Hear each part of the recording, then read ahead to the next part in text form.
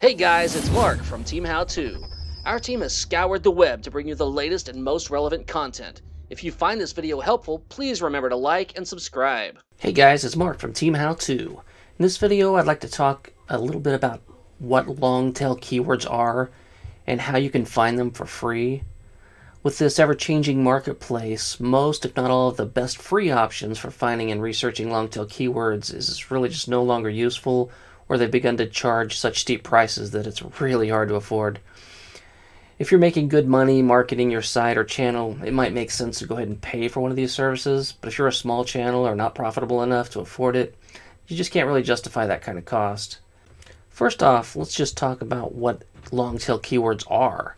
They're basically search queries with low individual search volume, but when put together with multiple words can garner a larger exponential search demand as a group.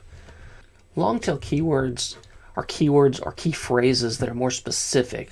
Long tail keywords get less search traffic, but it will usually be higher conversion value because they're more specific to what that person is looking for.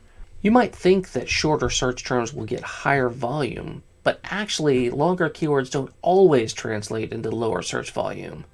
It kind of depends on the specific case. In some cases, you'll find that adding a modifier or extra words can increase the search volume. A good example of this is lose weight. You would think that lose weight would be hard to outrank, but according to one of the expensive keyword services, how to lose weight and how to lose weight fast are searched two to three times more often. So now that we've established what they are, let's see why we would want to use them. Long tail keywords convert better because they are more specific to what the person is searching for, and long tail keywords rank higher in the search results because they are more specific and thus weed out the people who are not searching for what you are offering. For instance, if I have a video about weight loss cookbooks and my keyword was weight loss, I could be paying for traffic from viewers looking for weight loss coaching, weight loss workout programs, all kinds of stuff, just on and on. So one last final note on what long tail keywords are and are not. What long tail keywords are not are really long words that are keywords. What they are are three or four keywords put together to create a single phrase, thus a long-tailed keyword. So let's get into a few examples of what long tail keywords actually are in practice, and I'll show you a few free ways to go about finding them. Uh, the best way, by far, I think personally, is to come into the YouTube or the Google search bar and just type in the, the, the, primary keyword you're looking for. In this case, let's just do lose weight, and you hit the space bar, and you can see these are highly searched for terms. And these, these as the terms evolve, these will evolve. If losing weight fast is the most uh, highly searched today, but maybe three weeks from now it won't be. So you come in here and you see what most likely people are looking for.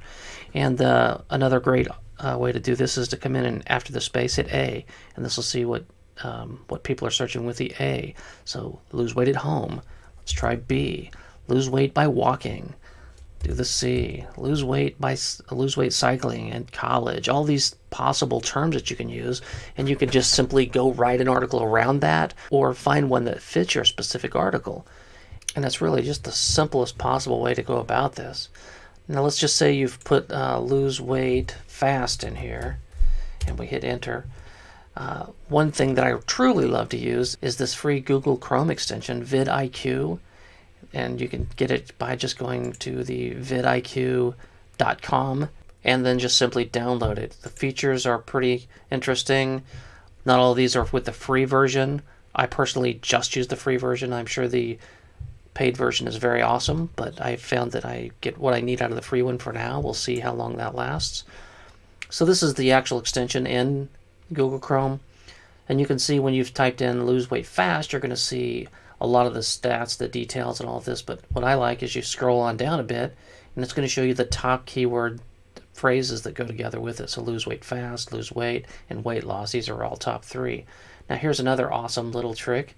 You can do this enable inline keywords. And if you're putting together a video about losing weight fast, enable this feature and it's going to show you all of the keywords these people are using in their videos. What you need to do then is go find a video that's similar to yours or something you're wanting to put together, find out what they're using. You'll see that these are the top ranked videos on YouTube, so they're obviously using good keywords. And you pick the one you like. Let's say you like this one. Let's say this one most matches what you're trying to accomplish. We'll go in here and hit pause. We'll go ahead and scroll down and simply go down till you see the keywords right here. Right here, all the keywords. Come up here, copy to clipboard. Now I've copied every single one of their keywords. If I like somebody else's and theirs, I can combine the bunch, but you can see already, you can see it's ranking how good these keywords are based on their video and the content. Well, I hope that helps. That's all I got for you today. Hey, did you remember to subscribe?